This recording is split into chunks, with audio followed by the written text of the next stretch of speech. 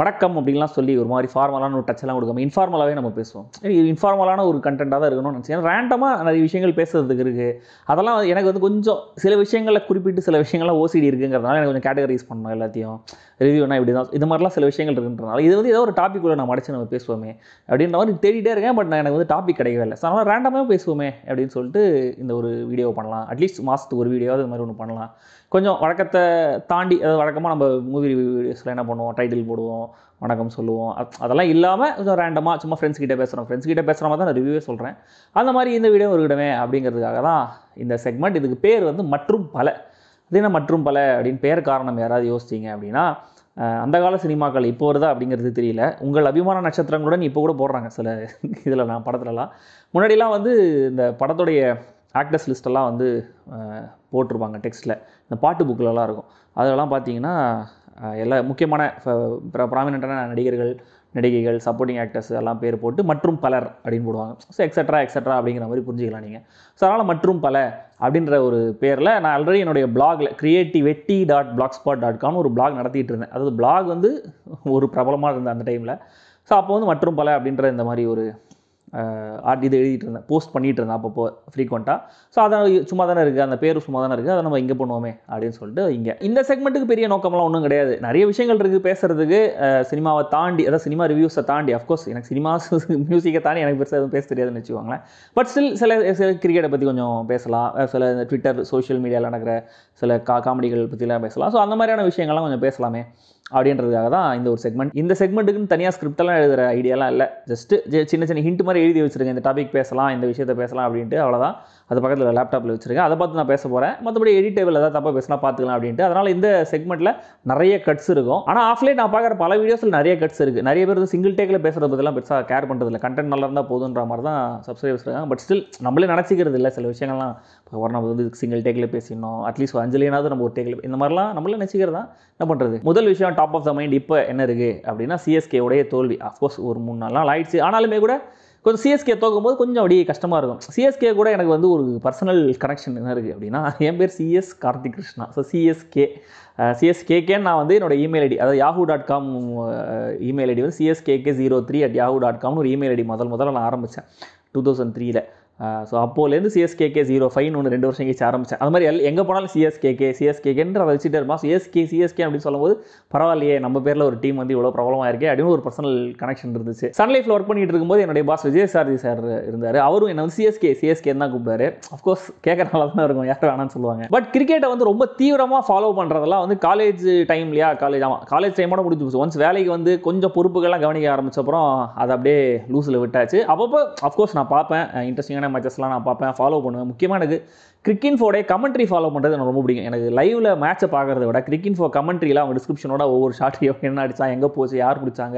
அங்கே என்ன நடந்தது அந்த ட்ராமா அவங்க டிஸ்கிரைப் பண்ணுற விதம் ரொம்ப ரொம்ப நல்லா இருக்கும். அது நிறைய ட்ரிவியாக்கள்லாம் போடுவாங்க நிறைய ஸ்டாட்ஸ் எல்லாம் இருக்கும்.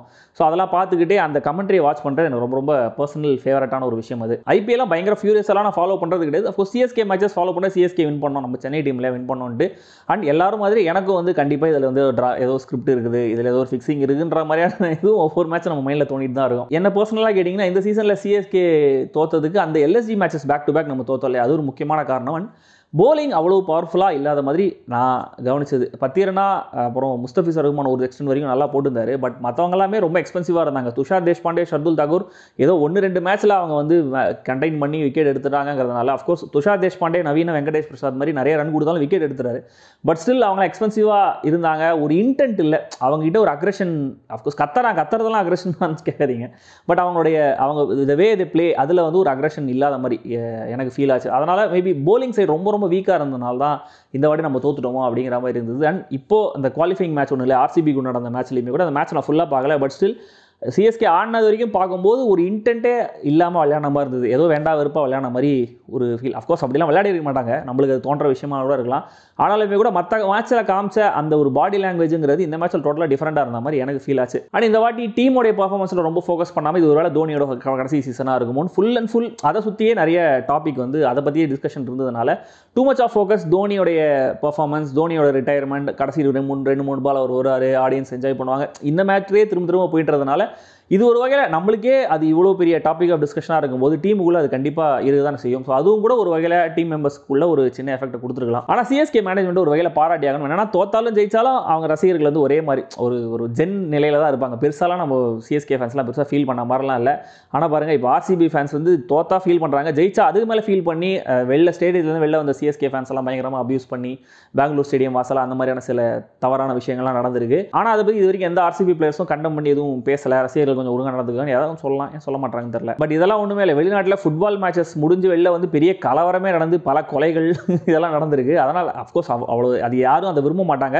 அவ்வளோ தூரம் நம்ம ஊரில் போகவும் போகாதுன்னு ஒரு நம்பிக்கை தான். பட் ஸ்டில் இந்த லெவலில் ஒரு சின்ன ஒரு இது மாதிரியான அபியூஸ் இந்த மாதிரியான அசம்பாவிதங்கள்லாம் கூட அன்ஃபார்ச்சுனேட்டான விஷயங்கள் நடக்கக்கூடாதுன்னு நினைக்கிறேன். அண்ட் இன்னொரு விஷயம் தோனி வந்து கை கொடுக்காம போயிட்டாரு அப்படின்னு ஒரு அதுக்கு வந்து ஆஃப்கோர்ஸ் ரெண்டு பாயிண்ட் ஆஃப் வியூ சொல்கிறாங்க ஒன்று தோனி ரொம்ப நேரம் வெயிட் பண்ணார். அவங்க செலிப்ரேட் பண்ணிட்டே இருந்தாங்க பார்த்துட்டே இருந்தார். அதனால் டக்குன்னு கிளம்பி போயிட்டாரு. கோச்சிக்கிட்டு போயிட்டாருங்கிற மாதிரி சொல்கிறாங்க இன்னொன்று தோனி அவ்வளோ ஒன்றும் வெயிட் பண்ணல. சும்மா தான் ஏன் ஜெயிச்சவங்க வந்து செலிப்ரேட் பண்ணாமல் என்ன சும்மாவா இருப்பாங்க? அதெல்லாம் செலிப்ரேட் பண்ணிட்டு வரட்டும் கொஞ்சம் வெயிட் பண்ணிட்டு தான் போடுமே அதில் என்ன வரணும் குறைஞ்சா போயிட போகிறான்ற மாதிரி இன்னொரு செட் ஆஃப் ஆர்குமெண்ட்ஸும் போயிட்டு இருக்கு சோஷியல் மீடியாவில் தோனி அர்ஜென்ட்டாக ரெஸ்ட் ரூம் யூஸ் பண்ணணும் கூட கிளம்பி போயிருக்கலாம். அது அவர் கேட்டால் தான் தெரியும். ஆனால் அதுக்குள்ளே நம்மளே நிறைய விஷயங்கள் கதை கட்டி சொல்கிறது ஆனால் அதுக்கு பின்னாடி கோலியும் ஆர்சிபியில் இன்னொரு பிளேயரும் பின்னாடியே போய் ட்ரெஸ்ஸிங் ரூமில் போய் தோனியை போய் பார்த்து பேசிட்டு வந்தாங்க. அந்த ஃபுட்டேஜுமே கூட காமிச்சாங்க. உள்ளே போய் தோனிகிட்ட பேசினாலும் தெரியல பட் சிஎஸ்கே ட்ரெஸ்ஸிங் ரூம் உள்ள போகிற வரைக்கும் அந்த ஃபுட்டேஜையும் காமிச்சாங்க. இது இந்த தலையா தளபதியாங்கிற மாதிரி சண்டைகள் தான். அவங்களுக்குள்ளே அந்த பிரச்சனை இருக்காது. ஆனாலுமே கூட ரசிகர்கள் சும்மா அதை பற்றி நீ கரெக்டாக நான் கரெக்டாக அப்படின்னு பேசுகிறேன் இந்த சோஷியல் மீடியா பெர்ஸ்பெக்டிவ்ங்கிறது ரொம்ப பயமாகவே இருக்குது வர வர இந்த ராஷாமான் எஃபெக்ட்ன்ற ஒரு விஷயம் இருக்குது இல்லையா? ஒவ்வொருத்தர் ஒவ்வொரு பாயிண்ட் ஆஃப் வியூவில் சொல்கிறது இந்த விரும்பாண்டிக்காத மாதிரி. இது வந்து ஒரு பாயிண்ட் ரெண்டு பாயிண்ட் ஆஃப் வியூலாம் கிடையாது. இது எக்கச்சக்கமான பாயிண்ட் ஆஃப் வியூ அதை நம்புறதுனே தெரியாது. ஒரு பாயிண்ட் எல்லாமே உண்மையும் அப்படிங்கிற மாதிரியான ஒரு இல்யூஷன் கூட கிரியேட் ஆகுது. ஒரு உண்மையை எப்படியாவது கஷ்டப்பட்டு பொய்யாகிடுறாங்க. அவர் ஒரு பொய்யை ரொம்ப ஈஸியாக உண்மையாகிடுறாங்க. இது இல்லை அது ஏதோ ஒன்று நடந்துக்கிட்டே தான் இருக்கா?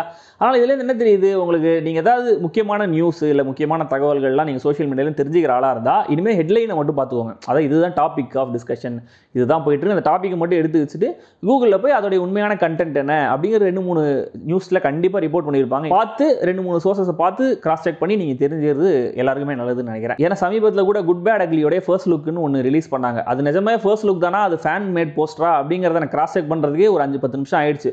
அப்புறம் ஓ ஓ நிஜமாவே போஸ்டர் தான். அப்புறம் ஆதிக் ரவிச்சந்திரன் அவருடைய ஹேண்டில் ஷேர் பண்ணியிருந்தார்.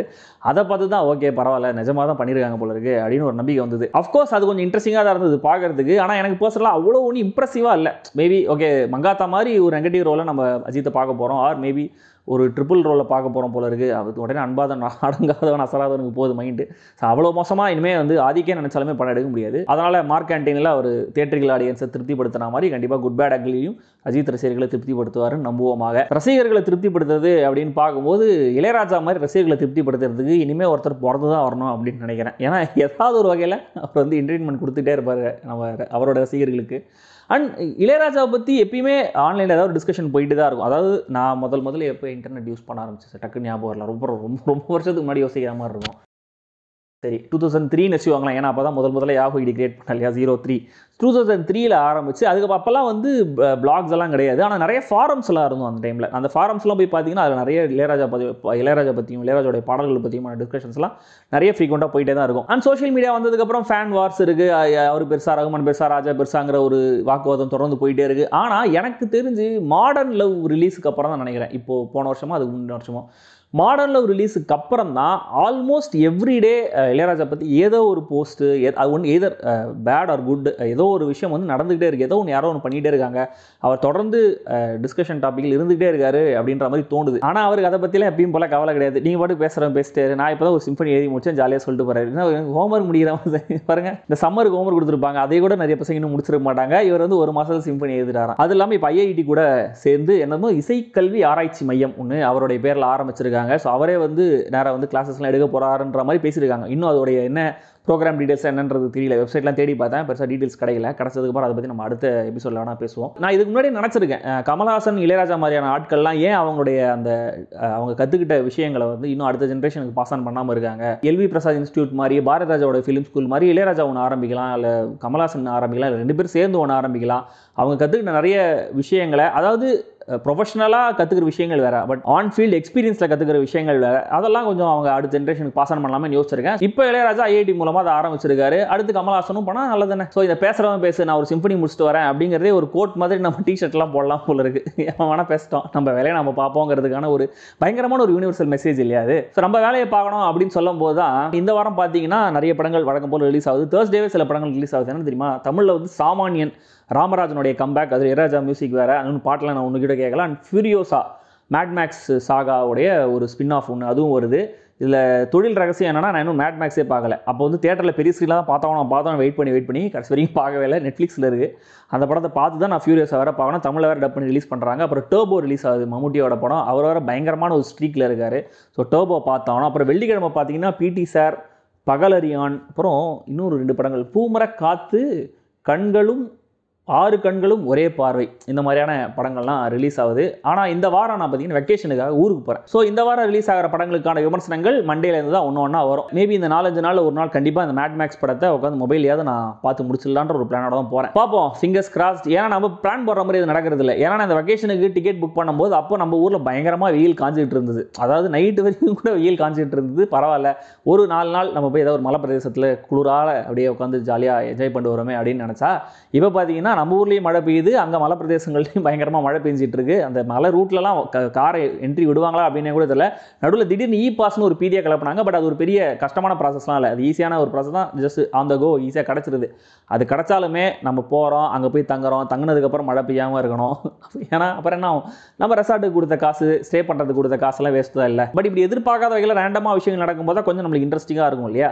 அதனால் பரவாயில்ல. ஸோ இந்த ரேண்டமான எபிசோடு உங்களுக்கு பிடிச்சிருக்கும் தான் நினைக்கிறேன். இந்த மற்றும் பல செக்மெண்ட்டில் நான் ரேண்டமாக பேசின விஷயங்கள் உங்களுக்கு பிடிச்சதா பிடிக்கலையா அப்படிங்கிறத எப்பயும் போல் கமெண்ட்டில் சொல்லுங்கள் நான் ஊருக்கு போயிட்டு வந்து அடுத்த வீடியோவில் உங்களை சந்திக்கிறேன். ஓகே